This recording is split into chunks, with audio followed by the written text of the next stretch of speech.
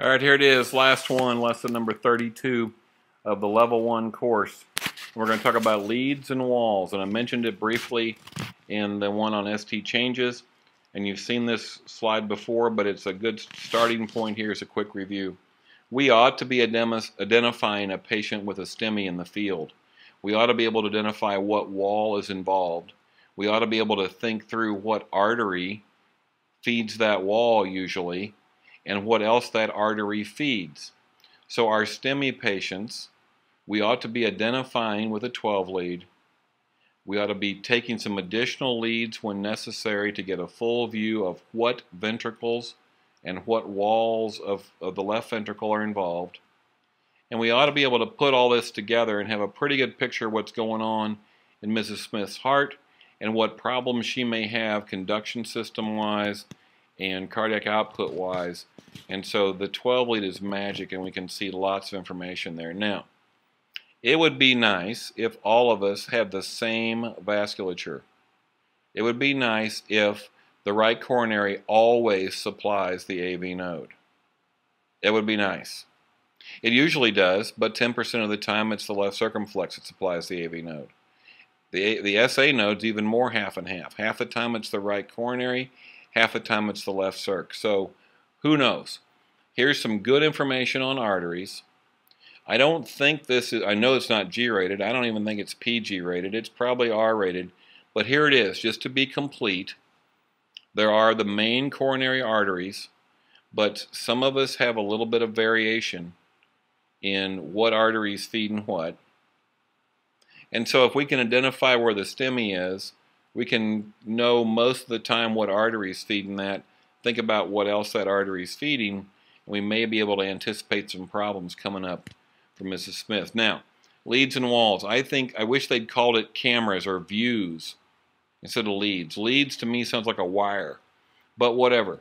The lead on a 12 lead is essentially a view from a certain angle. And it's think of it as a camera, like a surveillance camera that is mounted in a certain way and it's aimed at a certain area. And so each lead is like a particular camera view. Now our standard leads look at the left ventricle. We can move some and get a look at the right ventricle.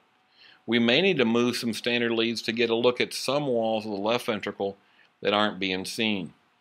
Contiguous leads matter. Contiguous means that they are looking at the same wall or they are physically next to each other where, where we're talking about the chest leads. So lead 2, lead 3, and lead AVF are contiguous. Lead V1 and V2 are contiguous. V2 and V3 are they're physically next to each other.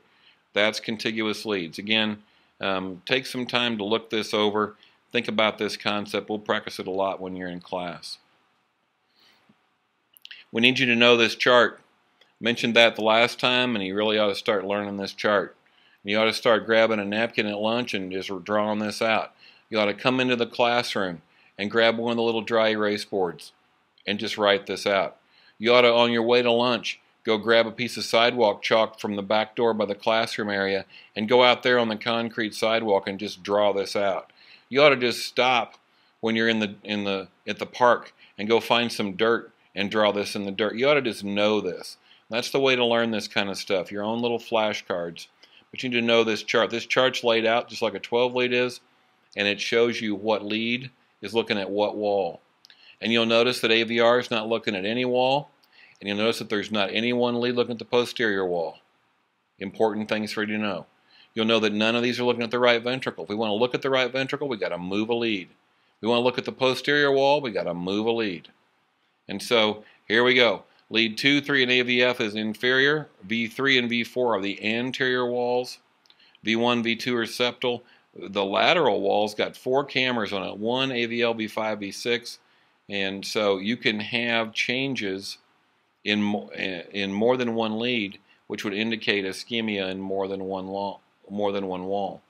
Pretty much the rest of this presentation tries to make sense of this for you and here's a look at the inferior wall. And you see the camera mounted down there at the foot looking up at the bottom wall, the inferior wall of the heart. Now, when you're in a classroom, one of our exercises, we have Play-Doh. We make a heart out of Play-Doh. We make a left ventricle out of Play-Doh. Different colors of Play-Doh. So that you kind of get a feel, literally, for what's going where. And we mount some little paperclip cameras and we try to give you a chance to really internalize this kind of thing. Plus, it makes your hands smell good to play with Play-Doh.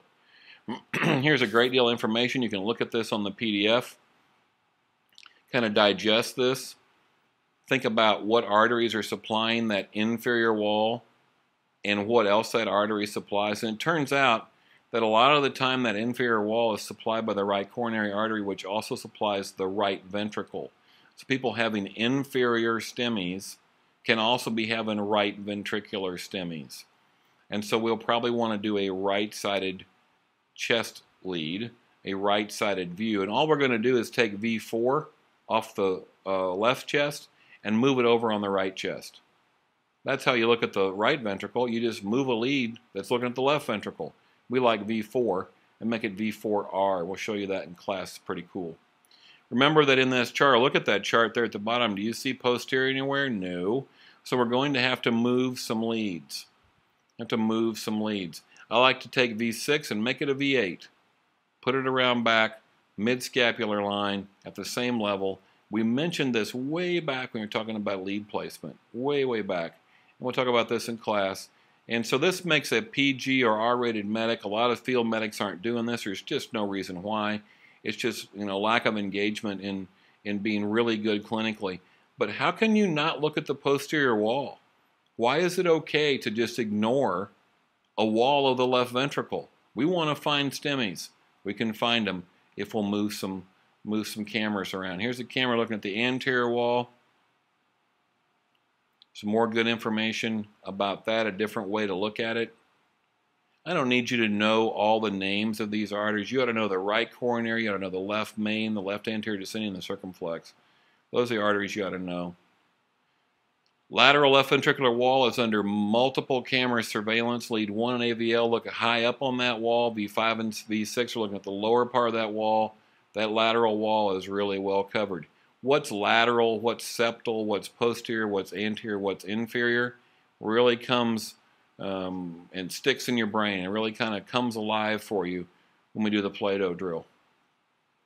Here's the whole big screen again, where they're pointing, where that wall is, what lead is matching to what wall. Very, very key information, stuff you got to know, leads and walls. More stuff on the lateral walls.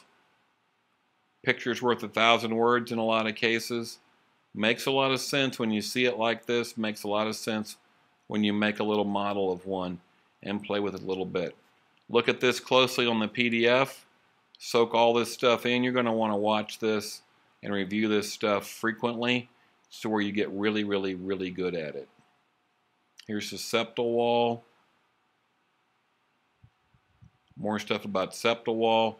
And here's a nice big overall chart. And boy, this would be something if you knew everything on this chart, and you knew it cold, and you knew it at 3 o'clock in the morning, and you knew it when you'd already worked three days in a row and you were dead tired and your blood glucose level was out of control, and you really, really needed some caffeine, and if you knew it then, then Mrs. Smith, when she called you then, would get really good service from you then, and that would be pretty cool. Very, very good chart to know. Leads and walls matter.